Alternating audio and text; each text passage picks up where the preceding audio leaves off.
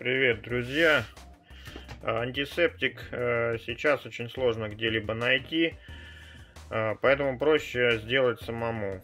Нужен вот такой флакончик или от старого антисептика, или а, от любого другого средства. Продезинфицировать его ну, кипятком, например, чем-нибудь от старых каких-нибудь средств, чтобы был чистый. И нужно в аптеке взять этиловый спирт вот. Э, говорят, что 70% не подходит. Ну, есть 70%, хотя бы такой взять.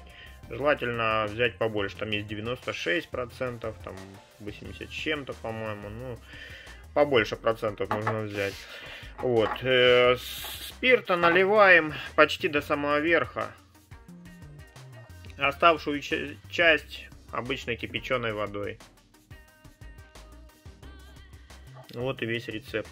Кому, если нужно с каким-нибудь запахом, там, можно капельку какого-нибудь масла эфирного капнуть, там, мяты или еще там какие есть. Ну, он и, и так нормальный.